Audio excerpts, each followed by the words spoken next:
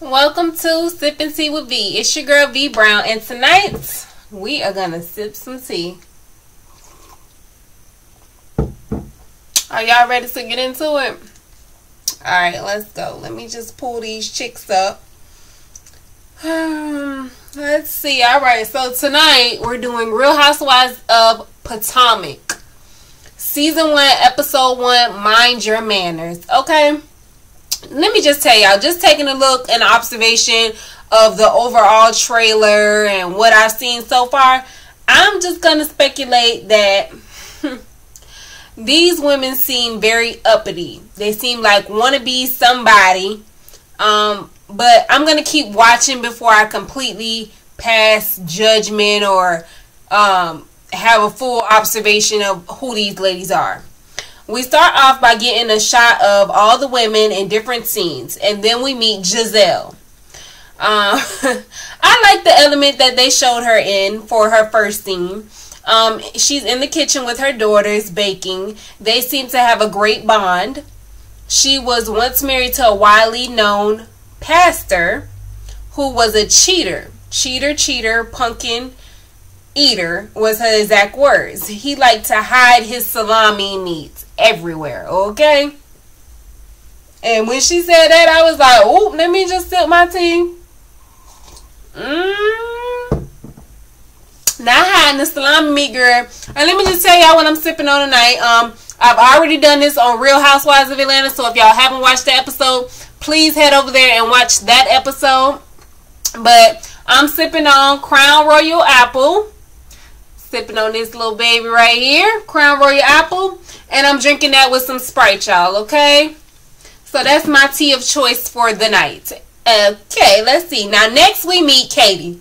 Now, she's a woman who loves white boys and loves some Jewish boys. Now, I read it, I right here. I was like, I'm not featuring her. I'm not feeling her at all. Anyway, child, I can see where this is going to go. Um, she left her husband when she was four months pregnant. She has three kids, all under the age of three years old. Um, her new Jewish boy has a lot in store. Hmm. I don't know if you're ready for it either. um, we have Robyn, another light-skinned woman with green eyes. Um, she was married to an NBA player, but subs- subsequently got a divorce three years ago. Now she still lives with her ex-husband, sleeps in the same bed with her ex-husband, and they take care of the children together. Now, what I have gathered is none of these women so far that I've met on the episode are housewives. So I'm like, okay, mm, let's see. We got Real Housewives of Potomac. Um, I haven't met a real housewife yet. Huh. I don't see how this show goes hand in hand with the these women. But we'll keep watching. Have y'all hit the subscribe button yet? Definitely hit the subscribe button. It seemed like it's going to be a long night with these women. So hit subscribe and come on, chill with me. Sip some tea. Now, Karen is a different story. She has married rich, honey. Um, her husband Ray is a much older man. When I say older, y'all, I mean uh, Peter Thomas of Real Housewives of Atlanta ain't got nothing on this man, okay? Boo-boo. But they've been married for 19 years, so there's definitely something there. She went from Germantown, Maryland to Potomac. Now, she went from being a farmer's daughter to a wife and of a highly paid IT guy, okay? Karen heads over to Gizelle's for a tea luncheon. This is what they sip they they sip their tea. Hold on, let me hold it the right way. Cause you know they sip their tea. Mm. So this is what they're going to do. They're going to spill some tea. To me, they ain't sip no tea. They spilt a lot of tea. Um, this is the type of thing that I don't get though. It's like a pecking order. And Karen is at the top of the pyramid. She lets it be known too, honey. Throwing all types of shade to Miss Gizelle. Now, I can see who the NeNe of Potomac is supposed to be.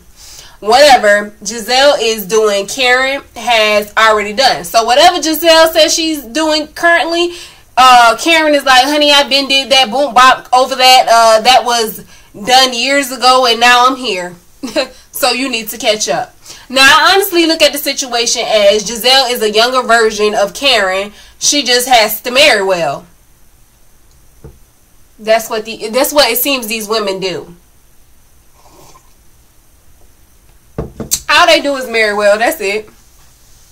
The ladies meet up for dinner, but of course, there has to be some late women. That's always when it comes to uh, Real Housewives anywhere um, meeting. Somebody always late. Now, the dinner that they're meeting up for is actually a dinner for Karen because it's her birthday, all right? So let's see. Charrisse is married to Eddie Jordan, who used to be a basketball coach for the Wizards, the Washington Wizards. He is now the basketball coach at Rutgers for the men's college basketball team. Um, he she lives in New well, actually Eddie lives in New Jersey where he coaches, and she lives in Potomac with the kids.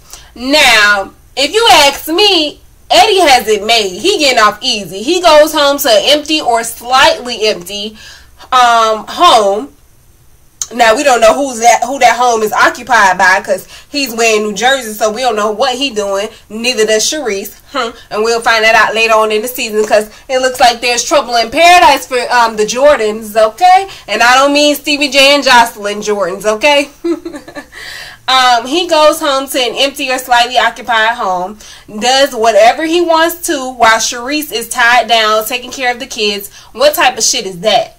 What, what, what type of life is that? Now they have been married for 18 years, granted. Um, I think she said, but child, that still doesn't make I think she said, but that still doesn't matter um, or make a difference for a man that don't it doesn't make up for a man's needs. Like he's over there, you're over here. How are y'all meeting each other's needs? Y'all are married. Come on now, this is important. Um Now, she says her friends asked her if she's worried about him cheating. She said, Girl, please, your man lives with you and he cheating right in your face. Okay? Boom, boom, boom. I don't know about that one. She's better. She's a better woman than I could ever be.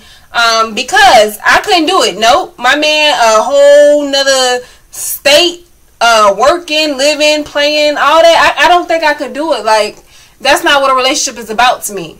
So, especially with a marriage and kids involved, I don't think I could do it. But my thing is, Charrisse doesn't cook at all, but has the kids. Hmm. So I'm guessing she has a chef on on site or something. I don't know how that works, but she doesn't cook at all.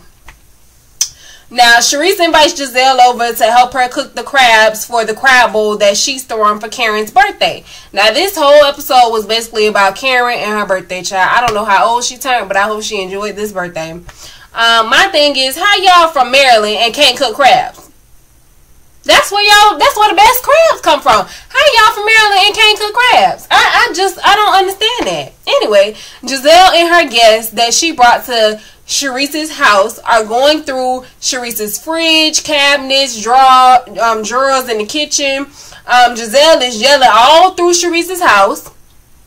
Just no self control at all. Shoot, Charrisse talking about she was getting pissed off, but honey, I would have put their ass out my house, okay? Who the fuck does that? Now, I was liking Gizelle in the beginning, but she just really, she just really turned me off.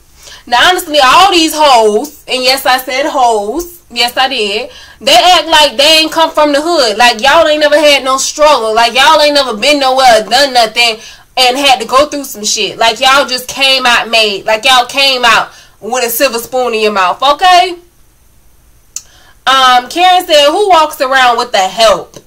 I'm like, "The help." They seem like really good friends, Gizelle and um the, uh, the dude who does hair. I forgot his name. They seemed like really good friends to me. Now, here they go with the etiquette bullshit. I get so tired of housewives talking about etiquette and this and that, and then when they get into it, ain't now one of y'all got no etiquette, okay? Karen and Gizelle start arguing after Karen gives Gizelle the five rules to etiquette at a birthday party. Um, child, I was like, really, Karen? Um, now, hold on now. Say what? That was just a mess within itself. I know one thing I wouldn't be able to sit with these women at all because I probably would have cursed at least three of them out already by now. Okay, a friend of Charrisse's goes to her to ask her what's going on. Miss Charrisse Jordan is sitting there putting her dirty feet. Yes, y'all seen her feet; they was dirty. Her dirty feet that she walked all around outside with um, and whoever did her toes, honey, I, I, hope you washed your hands after you did her feet because her feet was dirty while you was doing her toes. Cause she had done walked around all outside and then came and sat down in the glam chair to get glammed up. Ain't took no bath, no nothing. And then had the nerve to walk barefoot all outside like wasn't nobody gonna notice that. Honey, I'm a very clean person and I pride myself for cleanliness. And you miss thing with them dirty feet, putting them putting them dirty feet and them designer expensive designer heels at that those heels, those heels did not ask for them dirty feet, okay? Mm-mm. No, ma'am. No, they didn't. Karen's still sitting outside arguing with Gizelle. And she has had it with her at this point. She walks off, let her know, when you come for me, you won't find me. I'll leave you in my rear view. I said, okay then, Karen, Mr. Old Fish reading early. Gizelle says, girl, I come from a legacy and I have a pedigree. You came from a farm. Don't question me, okay? All right now, I say all right now, Gizelle. Okay, Miss Pedigree. now, these women's true color come out when they're mad. It really does. All in all, I'm looking forward to the season and that what's to come with the season. But my thing is, let me just say this. These women of Potomac are really gonna have to get it the fuck together. Like I can't. I don't need Bravo to come out with another motherfucking uh, franchise of the Real Housewives until they get some women that can come together and bring something different to the table. And when I mean different, I don't mean a black version of Beverly Hills. I want to see something different. Show me some women who are bringing different things to the table. Now that is my opinion, y'all, on Real Housewives of Potomac season one, episode one. Y'all let me know what y'all thought about these ladies and the drama between them. And just the first episode and the vibe y'all get from these women, okay? So far, my favorite was Charrisse and Gizelle, but by the end of the damn show, I ain't got no damn favorite. How about that's one, okay? Um, definitely subscribe, y'all. Like and share. Um, keep rocking with me because this is not the end by far. Okay. Mwah. Remember to sip tea and always keep it sweet. Yes. Mwah.